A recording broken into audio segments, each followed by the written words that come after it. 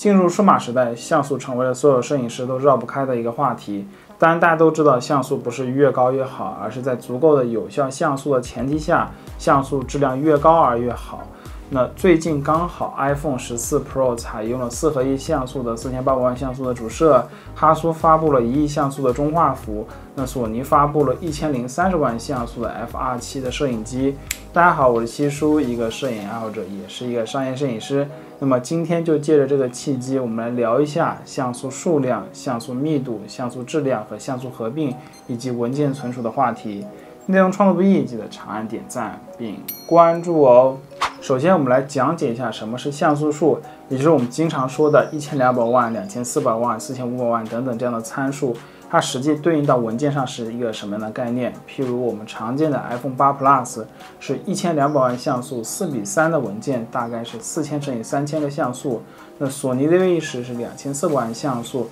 是一个三比二的文件，就是六千乘以四千个像素。那佳能 EOS R5 是四千五百万像素，大概是三比二的文件。五千四百六十四乘以八千一百九十二个像素，很显然，前面这个一千两百万就是这个后面的四千乘以三千的乘积的总和。那看到这里，很多小伙伴就说了，这还要你说？那千万不要着急，我们马上就要开始加速了。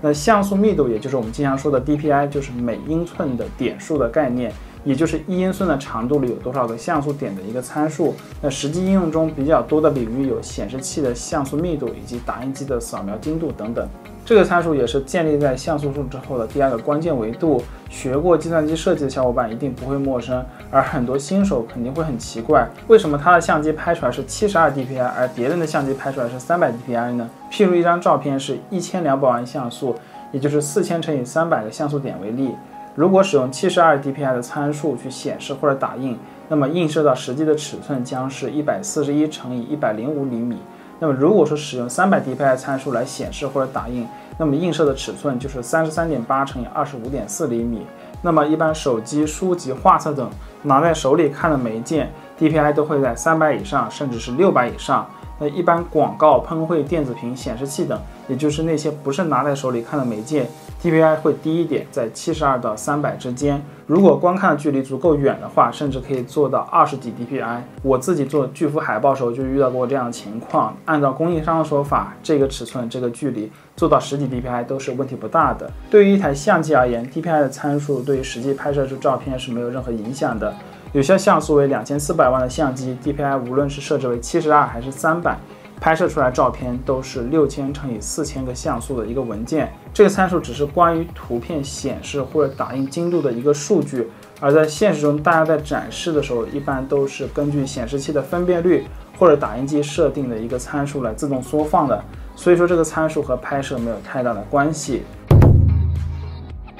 但是对于相机的 CMOS 像素的密度还是有很大意义的，这里就引入了第三个概念，也就是像素质量的划分与区别。这里我们不去具体的计算 DPI 的数值，就以最常见的 M 四三 APS-C 和全画幅为例。全画幅的尺寸是 APS-C 的一点五倍，是 M 四三的两倍。那么在相同的像素级别的前提下，画幅越大，每个像素的面积就越大，并且密度就更低。可以直接理解成更大的面积可以获得更多的光线，更低的密度可以让每个像素之间的干扰变得更少，从而获得更高的成像质量。虽然说半导体的工艺以及算法是在不断优化的。但是密度还是一个最核心影响因素。这个概念转换到实际的拍摄中，以有效像素相近的 CMOS 为例，例如 M 四三的 ISO 为一千六，APS-C ISO 为三千二，全画幅的 ISO 为六千四，在百分之百放大前提下，画质对比是比较相似的。同样的，百分之百放大后，全画幅的两千万像素会比四千五百万像素在相同的 ISO 下有更好的画质表现。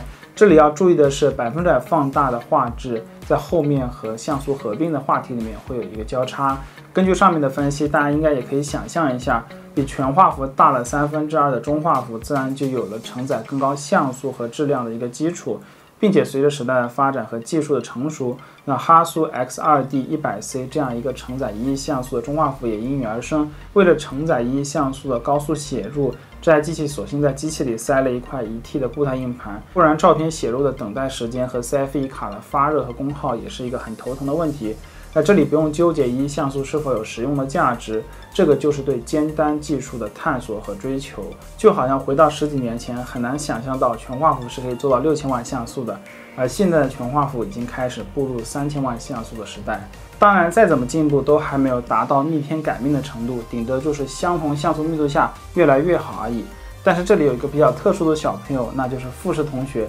他的 APS-C 真的是有实力 PK 一些入门级的全画幅的。那么同时代的 APS-C 基本上是被他这个小胖子按在地上摩擦的。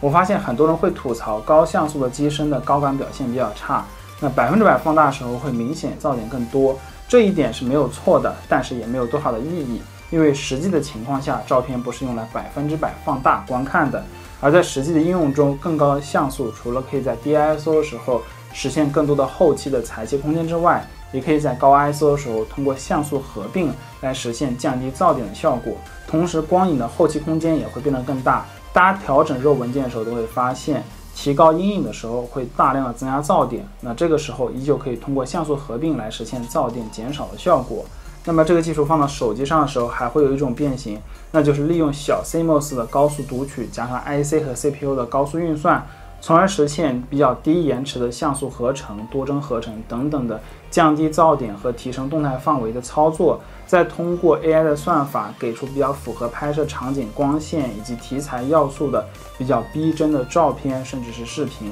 当然，这不是一个新鲜的技术，但是算法的调教的确是一个有很高上限的东西。那么 iPhone 十四 Pro 这个四合一像素的四千八百万像素的主摄呢？大体上就是围绕着上面说的这个逻辑而来的。为什么说并不新鲜呢？这个技术我在用 Lumia 幺零二零的时候，诺基亚已经在用了，可以带来非常好的画质。当然，现在硬件和算法比起 Lumia 幺零二零那个时代进步了不知道多少，自然也会有更好的效果。至于苹果的相机画质升级，作为一个长时间使用六 S、八 P、十一和十三 Pro 的用户，我觉得变化还是比较明显的。苹果的确是在影像领域有自己的技术储备的。所以说，它可以做到计划性的让产品稳步的提升。我觉得这里主要的工程就是库克，不能否认他为苹果商业上成功带来的贡献。它的出现让苹果从一个生产爆款的公司变成了一个可以引领行业的公司。当然，这也让现在苹果看起来没有乔布斯的时代那么的风骚。只能说每个公司在不同的阶段都需要不同的职业经理人。讲到这里，很多小伙伴就要问了：那你会考虑 iPhone 十四 Pro 吗？这里非常诚挚的告诉大家，只要我的 iPhone 八 Plus 二百五六 G 内存不满，我是不会换手机的。至于为什么家里还会有十一和十三 Pro，那就是另外一个话题了。接着回到像素合并的话题上来，这里引入一个实际流通过程中有效像素的概念。在实际工作过程中，我不会把 R 五上的四千五百万像素图片直接转换成 JPEG 发给客户，甚至 EME Mark Two 上面的两千万，x T 三上的两千六百万，以及是 ZV-E 十上的两千四百万，我都不会直接发给客户，除非客户是专业的印刷用户，他会自己去优化，否则一般客户我都会按照他的使用场景，通过后期软件进行像素合成之后再发给他，一般就是一千万到两千万像素之间。就可以满足大多数用户的需求了，因为现在一般的显示器也就是 4K，那么就是八百万像素，那普通的传单印刷也就是 A3 以内，这个像素已经是非常充足了。像素的合并不仅可以压缩文件的尺寸。更是可以实现噪点的抑制，而且可以获得更好的显示器预览效果。基本上所有的设备在显示图片的过程中，遇到高像素的图片都要做实时的压缩和渲染。那一般采样的算法都是倾向于速度的优化，多少都会影响观感。那么像素合并就是一次前置的优化，这里不仅针对于商业的使用，对于网络发布也是有一定的帮助的。有些平台会压缩过大图片，或者会生成一张压缩过的小图作为缩略图。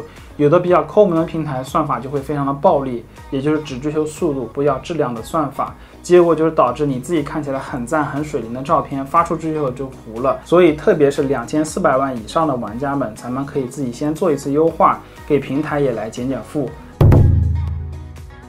关于文件存储问题，作为一个商业摄影师，是不是给客户输出了像素合并的精修图就 OK 了呢？我觉得一般情况下，大家是不会给客户长时间保存 RAW 文件的，要么直接拷走，要么就定期删除。但是我个人呢是比较珍惜这些照片的，并且也想着会有不时之需，所以我会把所有拍摄的照片，包括 JPG 和 RAW 文件，都会定期的备份到我的机械硬盘里面。如果大家有在关注数码硬件价格的话，其实比起十年前已经便宜了不止一个量级了。就现在的内存卡和硬盘价格而言，也算不上是一件很奢侈的事情了。很多小伙伴可能在走出校园之后就没有再关注过电脑硬件的价格了，所以说这里和大家再强调一下，无论是存储还是计算的硬件，比起之前已经便宜了非常多了。大家不要再舍不得拍肉了，更不要担心电脑处理不了。现在不要说图片处理了，处理视频的电脑也没有很贵了。那么 RAW 格式文件才是那个锁住了时间的切片，蕴含的不只是后期的空间，更是一段宝贵的争议。而 JPEG 只是一个便于流通和传播的副产物而已。关于 RAW 格式文件和后期话题，可以看一下我之前的专题，这里就不做赘述。那么今天再单独来介绍一下 JPEG 格式。这是一个上古时代就开始使用的有损图片压缩格式。虽然现在随着 H.265 编码的发展，H.E.I.F 文件正在走上时代的舞台，但是 JPEG 文件仍然是目前最主流流通的图片方式之一。之所以叫有损压缩，就是因为 JPEG 文件输出的时候是可以设置画质的，所以一张四千五百万像素的照片可以是二十一兆，也可以是六百八十八 K，当然也可以更大或者更小，这个会随着照片里的细节的多少而改变。一般大特写背景虚化照片会小一点，全景的风光照片会大一点。以后不要再看到六千七百万像素照片只有两三兆而直呼造假了。记住，JPEG 文件是可大可小的文件就可以了。最后来总结一下，像素数是基础，DPI 是图片显示和印刷缩放的比例。两千四百万照片，无论设置为七十二还是三百，它都是一张两千四百万像素的照片。像素的质量会影响到弱光的表现以及后期的空间，所以底大还是有一定的优势的。合理的像素合并是可以提升画质的，也可以让高像素的机器拥有媲美低像素机器的高感表现。所以定位于纯粹视频领域的索尼 A7S3、F 叉三、F R 七都采用了比 4K 多一点点像素的 CMOS。关于照片的存储，我非常建议大家从今天开始起。拍摄 RAW 格式或者 JPEG 加 RAW 格式的文件，并且保存所有的 RAW 格式文件。你今天可能觉得没怎么样，但是一年之后呢？五年之后呢？十年之后呢？今天不做后期，十年之后也不做后期吗？但是如果这些照片删除了，那以后就再也找不回来了。这是我所有照片都保存了超过十年之后的一个实实在在的建议。每个人的生活都有不一样的精彩，值得精心的记录和保存。摄影不只是用光的艺术，更是和自己内心的对话的桥梁。发现那个稚嫩的、意气风发的、怀才不遇的、平安喜乐的、多姿多彩的自己。那么本期视频就到这里，在我的主页还有更多摄影器材、摄影教程以及行业动态的资讯。我是能拍或者七叔，记得保存好你的照片哟。我们下期再见，拜拜。